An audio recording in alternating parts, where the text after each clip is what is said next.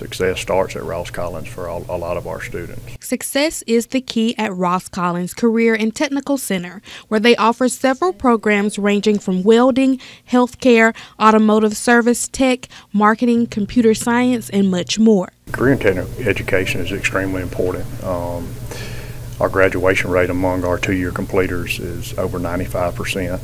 Uh, our attendance rate uh, is is is high. Uh, our students enjoy being here. They enjoy being in the building and learning a trade. Ross Collins invited professionals from different industries to come speak to the students for CTE Day. Okay, well, this is the first time that we have done this at Ross Collins, and what we've done is we've had our teachers invite different people from the community that um, are related to their program to come in and talk to the students about what the actual career may um, be like when they actually get there.